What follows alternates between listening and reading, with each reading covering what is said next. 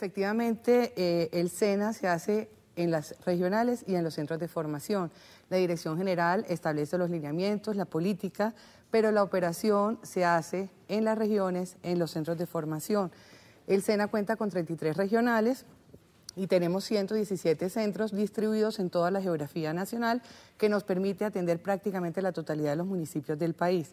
Durante el 2011 eh, adelantamos desde el despacho de la Dirección General en el que soy asesora eh, el diseño de la política para el fortalecimiento de las regionales del SENA. ¿Para qué? Para lograr mayor pertinencia de nuestra oferta de servicio en las regiones y para lograr mayor eficiencia, eficacia y efectividad en la operación, que son las dos funciones básicas que le otorga la Ley 119 a las regionales del SENA. ¿Qué acciones concretas adelantamos? En primer lugar, la definición de la política de regionales, no entro en detalles, pero el objetivo es lograr unas regionales fortalecidas, unas regionales pertinentes, con mejores sistemas de gobierno y muy eficientes en su gestión. En segundo lugar, venimos trabajando en un modelo de autoevaluación de los centros de formación que permita implementar una cultura permanente de autoevaluación y mejoramiento continuo y que tenga traducción o expresión presupuestal durante el año 2003. Iniciamos el proceso de planeación estratégica regional en el 2011, inicialmente con las regionales Magdalena, Chocó, San Andrés, eh, y eh, este año ese proceso de planeación estratégica se está adelantando en las 33 regionales del SENA.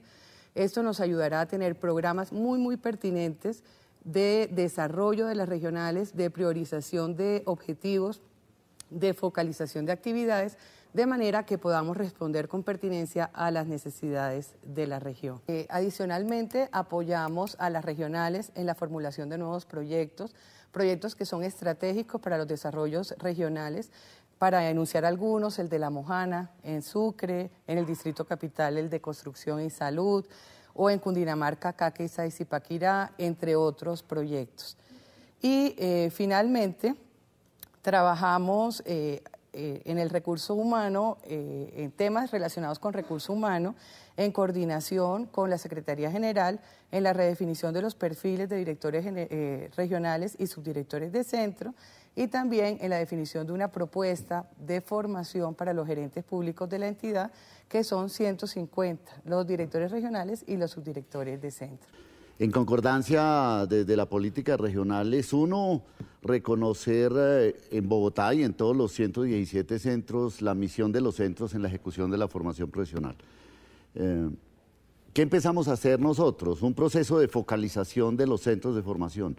Si bien es cierto, en Bogotá son 15 centros especializados, eso nos dio como resultados dos grandes cosas. Uno, unas nuevas necesidades de infraestructura y nueva planta a centros como el de tecnología, la construcción y la infraestructura, del Centro de Tecnologías de la Salud y la Promoción Social y el Centro del Deporte y la Recreación y el Tiempo Libre. Es de los nuevos centros de formación que debe tener hoy el SENA y, por supuesto, Distrito Capital.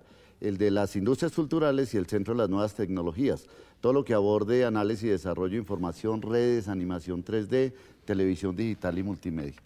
Ese es del primer ejercicio. Ustedes planteaban la autoevaluación, algunos de los centros empezamos a hacer una autoevaluación de la oferta educativa de la mano con los gremios. Déjenme colocar solo dos ejemplos.